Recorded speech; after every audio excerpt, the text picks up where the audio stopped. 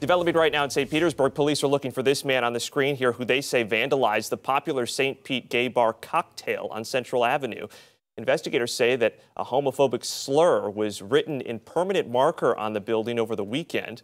10 Tampa Bay's Liz Crawford, she is looking into this story right now. She will have more details as well starting at 5 this evening.